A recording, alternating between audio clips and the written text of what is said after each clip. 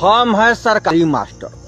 सब लोग हमको गरियाता है कि भाई ये पढ़ाता नहीं। तो हम क्यों नहीं पढ़ाते हैं? ये बात पर कोई नहीं गौर करता। है हमारा जो प्रॉब्लम है, हमारा जो जिस कारण से हम नहीं पढ़ाते, इस पर कोई फोकस नहीं करता है। खाली कहता है कि रे, ये हराम खोर है, ये खाली पैसा उठाता है और काम धंधा नहीं मोतिहारी के चकिया में अपराधियों ने स्वर्ण व्यवसायी को मारी गोली और लूटा लाखों का आभूषण नमस्कार आप तो देख रहे हैं न्यूज़ और मैं हूँ आपके साथ अभिषेक पांडे।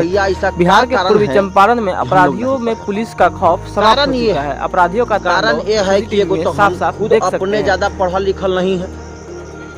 केहू ले दे के चीट उट करके हम पास हुए थे। बिहार में तो खूब चीट चलता है तो हमरो चीट का फ़ायदा उठाया हम पास हो आई मास्टरी जब नहीं था उसके पहले हम भैंसी चराते थे बकरी चराते थे गाय वे पोसले उसले थे। अब बताइए हम तो शुरुए के हैं चरवाहा।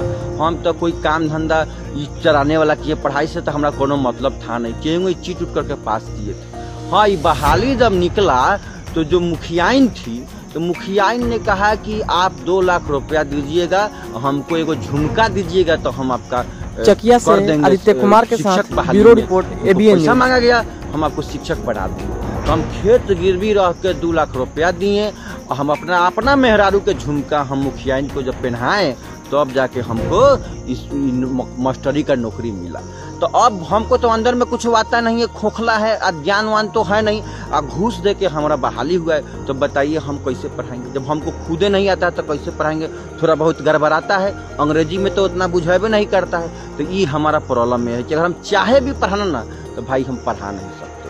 पहला बात है दूसरा बात है, सरकार हम लोग को तरह तरह के काम में अझुरा देता है। कबो कहेगा, मुर्गी गिनो, बकरी गिनो जनगणना, मतगणना, ये सब उलूल जुलूल काम जो हम लोग को नहीं करना चाहिए, हम लोग को तो पढ़ाने का काम मिलना चाहिए, वो सब काम में फंसा देता है। अब बताइए, वो सब काम में फंस जाएँगे तो हम कब पढ़ाएँगे? और कैसे पढ़ाएँगे? सोचिए इस बात पर। आप लोग सोचिए, हम लोग का दुख, तकलीफ़, खाली गरियाइए मत कि नहीं पढ़ाते। हम लोग का तकलीफ़, समझिए, ऊपर से इतना राशन पानी आता है, स्कूल ड्रेस का पैसा अटर पटर पैसा आता है तो उसमें से भी हम लोग चाहते हैं कि भाई तनख्वाह तो तीसरे हज़ार, चालीस हज़ार है। फ़िलहाल तो कहे नहीं उसमें से कुछ घापला करके हम लोग ले ले। तो घापला करने में भी तो टाइम लगता है, दिमाग लगता है तो हम लोग उसमें अझुरा जाते हैं, जिसकी वजह से हम लोग नहीं पढ़ाते तो ये सब हम लोग का मजबूरी है। आप जानते हैं, हम लोग का दुख कोई समझेगा? एक बार हम लोग को काम सरकार ने थमा दिया था स्वच्छता अभियान वाला कि भाई कहीं कोई लेटरिंग वोटरिंग करेगा तो वहाँ आप लोग सिटी बजाइएगा ताली मारिएगा।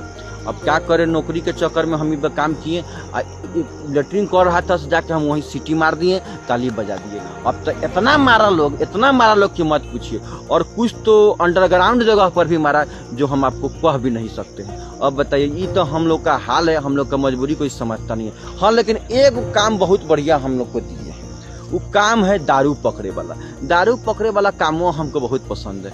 क्या है कि हम एक नंबर के दारूबाज हैं तो पहले क्या करते हैं? पकड़ते हैं। हमको सब आडा मालूम है कि कहाँ कहाँ दारू बेचाता है, तारी दारू नशा गांजा, भाँग कहाँ मिलता है कि हम क्या कि हम सरकारी मास्टर है सब हमको मालूम है क्योंकि हम ज़्यादातर हम वहीं आप पीते खाते हैं, हम भी भाई खाने पीने वाले घर से हैं तो वहीं पर मिलते हैं।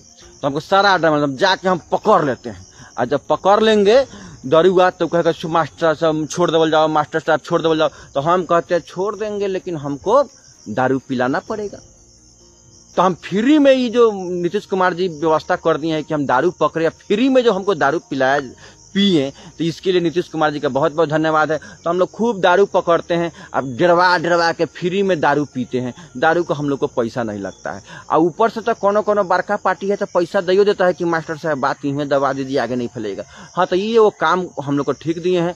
तो यही सब कुछ समस्या है, कुछ प्रॉब्लम है, जिसके वजह से हम लोग नहीं पढ़ाते हैं। तो खाली गरियाइए मत, इस बात पर भी गौर कीजिए कि भाई क्या मजबूरी हम लोग का है और क्यों नहीं पढ़ाते हैं। खाली गरियाने से काम नहीं चलेगा, हम लोग को समस्या समझिए, मजबूरी समझिए। और सरकारी नौकरी है, यहाँ पर हम लोग बैठ के पैसा नहीं लेंगे तो सरकारी नौकरी करने से क्या फ़ायदा? यही सब कुछ समस्या है, इस पर गौर कीजिए, गाली देने से थोड़े होगा, हमारा प्रॉब्लम समझिए। तो अब यही कारण है कि हम लोग नहीं पढ़ाते हैं। उम्मीद है कि आप लोग बात समझ ही गए होंगे कि भाई हम क्यों नहीं पढ़ा रहे हैं। ये हम लोग को पूरा, हमारा बात, पूरा यकीन है कि आप हमारा दुख तकलीफ़ समझ गए होंगे।